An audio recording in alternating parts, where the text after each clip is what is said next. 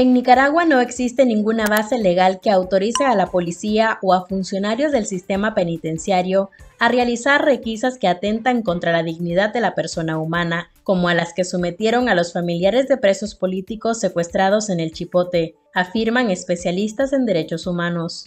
El pasado fin de semana, durante una visita tras 84 días de incomunicación, los familiares de los reos de conciencia fueron desnudados y víctimas de humillaciones y tratos denigrantes, según han denunciado. No existe ninguna base legal, no existe ninguna disposición ni constitucional ni legal que autorice a la Policía Nacional o a las autoridades penitenciarias a realizar requisas que atenten contra la dignidad de la persona humana.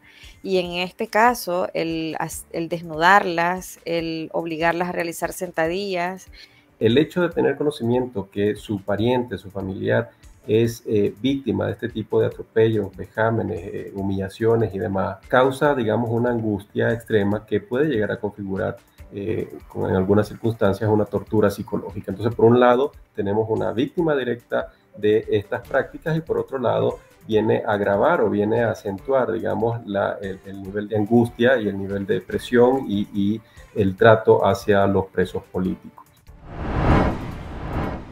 El régimen de Daniel Ortega ascendió a subdirector general de la policía al nuevo jefe de inteligencia, el comisionado general Sucop Serrano Pérez, según un acuerdo presidencial publicado en el diario oficial La Gaceta. Serrano Pérez asumió las funciones que tenía el comisionado general Adolfo Marenco Corea, uno de los funcionarios más leales a la pareja dictatorial, con experiencia en el área de espionaje.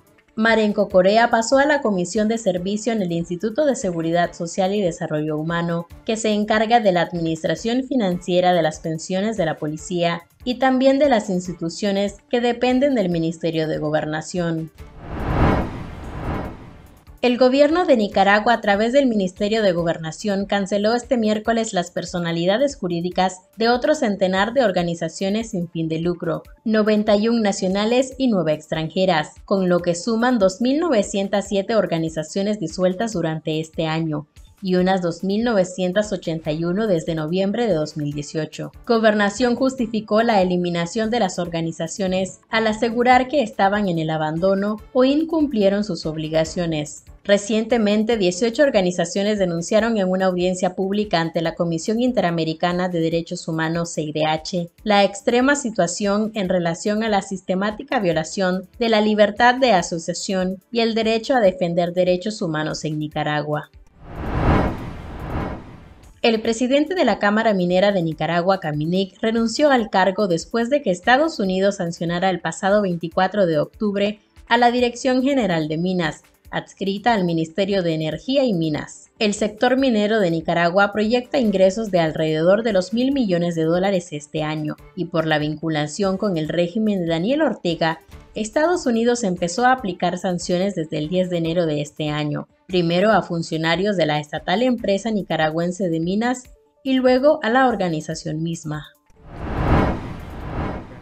Colombia anunció un cambio en su estrategia en el litigio con Nicaragua ante la Corte Internacional de Justicia después de años de reveses y de negarse a acatar las sentencias que han favorecido al país. El canciller Álvaro Leiva presentó un nuevo equipo jurídico colombiano antes de las audiencias orales previstas entre el 5 y 9 de diciembre, en el tercer juicio sobre la delimitación de la frontera marítima entre ambas naciones. En 2012, el Tribunal Internacional reconoció a Nicaragua 75.000 kilómetros cuadrados del Mar Caribe. El 21 de abril pasado, la misma Corte determinó que Colombia no debería intervenir en aguas nicaragüenses. En septiembre pasado, el orteguismo rechazó una posible negociación con el presidente colombiano Gustavo Petro sobre la liberación de presos políticos y los combinó a que cumplieran las sentencias de la Corte Interamericana de Justicia.